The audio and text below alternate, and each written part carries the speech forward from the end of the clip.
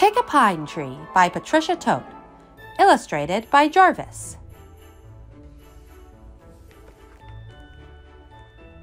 Pick a pine tree from the lot. Slim and tall or short and squat. One with spiky needle clumps, scaly bark, or sappy bumps. Long straight limbs or branches bent. Mmm, just smell that piney scent. Lift the tree above your head, bundle it upon your sled, or if you live very far, bring it home atop your car. Now, move aside a lamp or chair, clear away a section where your tree will sit, tall and grand, snug and sturdy in its stand. Trim the trunk a little bit, just enough so it will fit. Slip it in and turn screws tight. They will hold your tree upright. Fill with water to the brink. Give your thirsty tree a drink. Then find the trimmings stored within bulging boxes, rusty tins, paper bags, a wooden case. Bring them to that special place there beside your tree. But wait!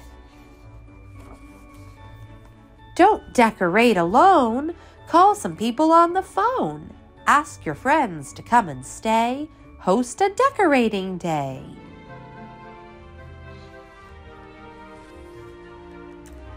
Stretch along some twinkling lights, a colored mix or simply white. Fat round bulbs or pointy tips, bubble lights or candle clips. Start up top or near the base, wrap around and tuck in place.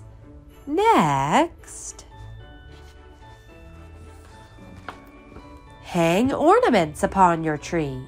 What kinds of trinkets will they be? Jolly Santas, dancing elves, wooden reindeer, jingle bells, lacy snowflakes, paper dolls, candy canes, and bright glass balls. With loops of thread or wire hooks, hang them all in little nooks.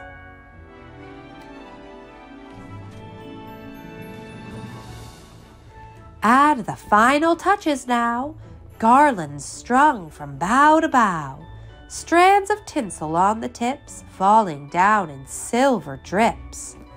Then Grab a footstool, climb right up, set something wonderful on top a golden star, a velvet bow, an angel dressed in flowing robes.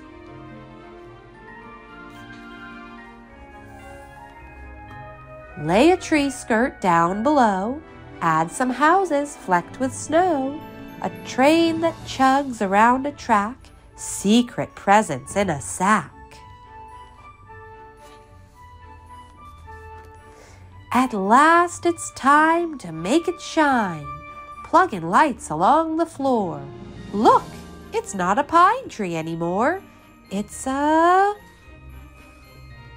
Christmas tree. Gather round the tree to sing. Let your joyful voices ring. Celebrate as nighttime falls. Merry Christmas, one and all.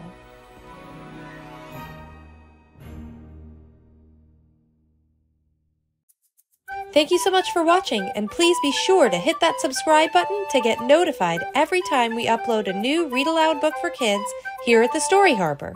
See you soon!